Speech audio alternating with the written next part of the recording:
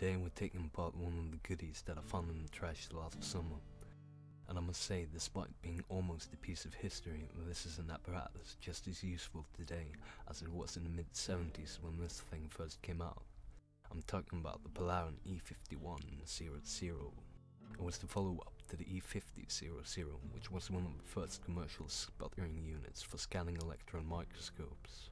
For those of you that are not aware, in order for something to be viewed on an electron microscope, the specimen needs to be conductive in order for the specimen to emit X-rays when struck by an electron, or have the electron backscatter. But if your specimen is not conductive, then what? Well, then you need a SEM coater in order to coat your specimen with a very thin layer of conductive metal. Some of the more common metals are the rather non-oxidizing one like platinum, palladium or gold but also silver, copper and nickel are quite common. In this one the sputtering target, as they are called, is a nickel ring cold pressed onto a larger brass ring that I presume acts as a heat sink. This is then suspended by three PTFE flathead bolts inside a mild steel casing. And by now it should be clear that one of the drawbacks of the E51 is the limited runtime. Modern units often have some form of active cooling in order to extend the runtime, but this one has done fine without so far, and as long as its runtime is kept to a few minutes, I think it will do fine for many years to come. O-rings, however, they don't last forever, and part of the reason I'm taking part the apparatus is to give the O-rings an overhaul that is long overdue. However, for those hoping to see the unit in action, I must sadly disappoint you. I'm currently in a bit of a vacuum pump oil drought. Vacuum pump abuse has left me with only one barely functional single stage out of three pumps I currently own. So until I strike oil, no sputtering. But when I do, I'm sure it will show up in a later video. For now we shall be content with having a look at E51 and we start with the front panel clearly see that this is a unit so simple your grandma could operate it. It even has a kitchen timer, like for reals. That is mechanical timer used to switch the high voltage. Right underneath we have the function selection, where off turns everything off. If you set it to pump, a relay will switch on anything connected to the power plug in the back. Usually that will be your pump. You then start pumping down the chamber to suitable pressure for flushing the system noble gas, usually argon. There's a small needle valve that connects the argon supply to the chamber, and the pressure is read off in torrs on this analog display. The next function is set high T or high tension, which means high voltage at a low current for those unfamiliar with the term. Typical values for this one is about 2.5 kilovolts at about 20 milliamps. The current is shown on the other display in milliamps. Last function is the timer and it activates the unit for the set amount of time. According to the manual of the E51, a gold coating the argon at 2.5 kV will deposit a layer according to X equals 7.5 times I times T where T is time in minutes and I is the current in milliamps, and X is the thickness of the deposit delay in ohms And since we're not pronouncing that again, we simply call it tenths of a nanometer. Now let's have a look at the chamber. The chamber is open from the top and we have an O-ring fitted in this groove that fits over the glass window. The small hole is an air inlet and the big one would fit the mount for the magnetron. This mount is sort of curious, and could have gone for a fixed HT feed-through and an internally adjustable bed, because despite how it looks under vacuum, there's a plastic clip that wedges the high tension feed-through in place, so you can't do any adjustments during sputtering. It does however save a bit of room, and it makes it really easy to adjust the target height before pumping. The main downside is the fucking hole in the vacuum chamber because the only seal to the shaft going through is this O-ring inside the hole. And because the magnetron is often adjusted, this O-ring wears down really fast, and will have to be replaced quite often. The other ones don't move, and the only problem is that they eventually dry up and crack. A bit of the occasional vacuum grease will help a lot to prolong the life expectancies.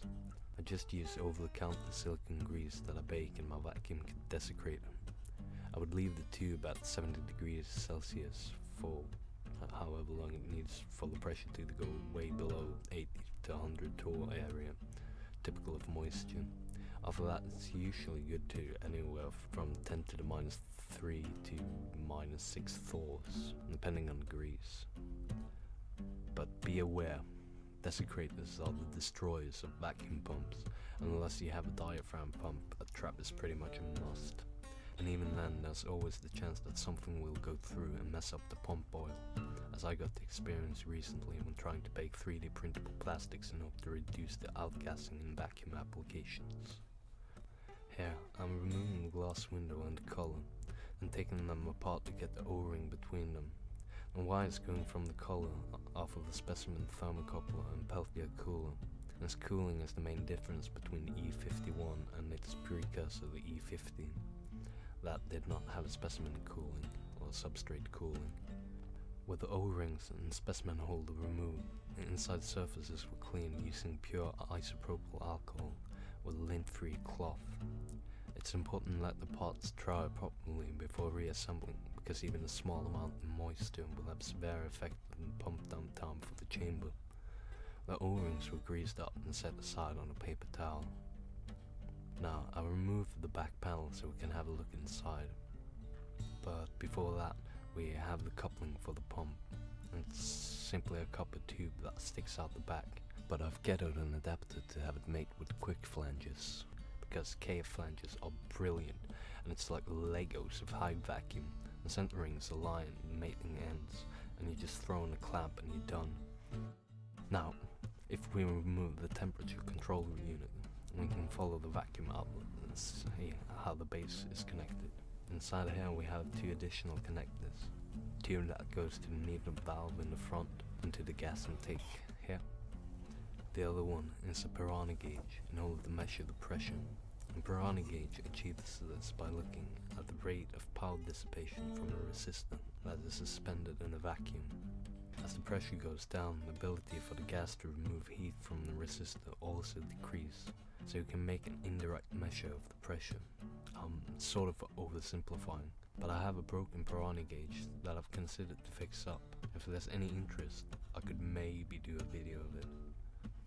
On the left here, we see the transformer that steps up the voltage, and on top we can see the diodes for rectifying high voltage output. I don't know how well you can see it, but here we have a tiny variac that adjusts the input to the transformer. The variac is the knob on the front panel if that's not clear and that's how the voltage is adjusted. The high voltage then goes to the magnetron where the sputtering gas is ionized and by swirling the ionized sputtering gas around in the magnetic field it slams into the sputtering target and showers a substrate or specimen with the target metal. Now this image was from the product manual and I'll leave a link to it in the video description for the interested viewer, or those of you perhaps making a magnetron yourself, because this is a well documented apparatus with circuit diagrams and all, from time before these things got complicated, and it should be a great help and inspiration for those of you thinking about the DIY magnetron sputtering unit. However, I feel that we've come to the point where this unit is about as tore down. As I wanted it and I sort of just made this video in order to get in the habit of making videos and also to fill time while waiting for part 3 of the PH meter where I'll tell you more about the Great Printer Clog 1617 but until then or maybe next filler have a great one and thanks for watching